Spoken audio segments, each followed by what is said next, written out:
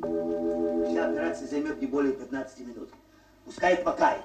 А я пока соберу барахливка. Дела. Здорово у вас здесь все оборудовано. Да, приходится рвать когти. Начальство приказало менять точку. Перепозироваться. Вот так. У вас ус отклеился. Спасибо. Руки вверх.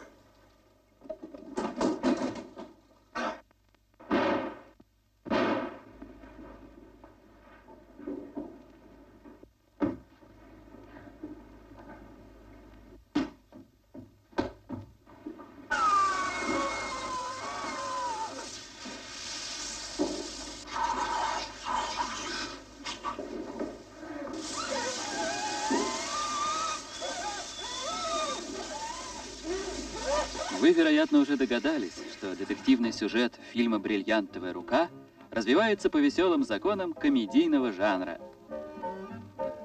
Это и понятно, ведь картину ставит Леонид Гайдай, автор многих эксцентрических комедий, а в актерской группе такие мастера смеха, как Юрий Никулин и Анатолий Попанов. Главный оператор картины Игорь Черных.